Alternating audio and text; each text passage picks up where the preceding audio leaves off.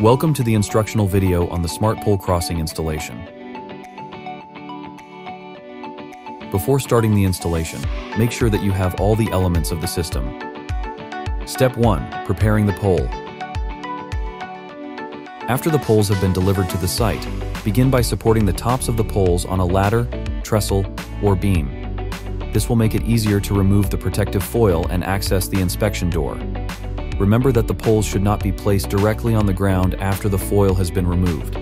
If you see adhesive tape residue, remove it with benzine extraction or acetone.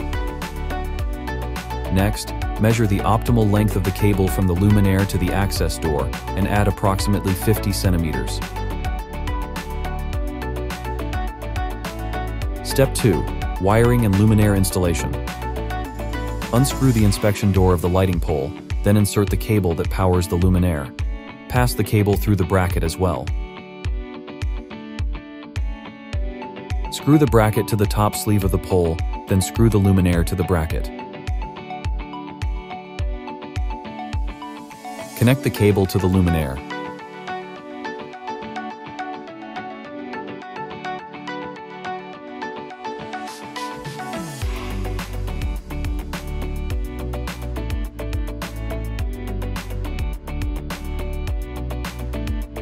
Close the bracket tube with a cap.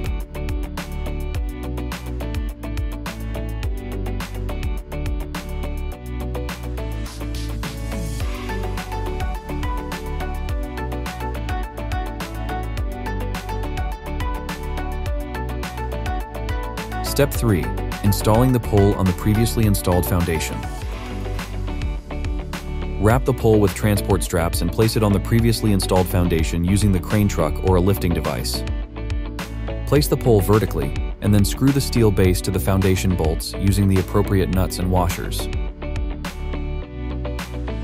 Place the pole vertically and then screw the steel base to the foundation bolts using the appropriate nuts and washers. Next, install the motion sensors responsible for detecting pedestrians in the crossing zone. Install the controller and power supply inside the pole according to the wiring diagram. In case of additional battery power, place the battery pack inside the pole using the special holders. Connect the cables to the fuse box. Install and tighten the inspection door.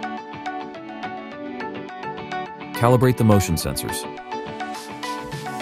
Verify that the light and sound signals operate simultaneously at both poles when the motion sensors are activated. Congratulations! Now equipped with sound transmitters, light warning systems, and motion sensors, the pedestrian crossing supports the traffic flow, improves the concentration of pedestrians and drivers, and increases the level of road safety. Thanks to the Smartpole Crossing's automated functions, children, the elderly people and people with limited mobility can feel safer at the crossing.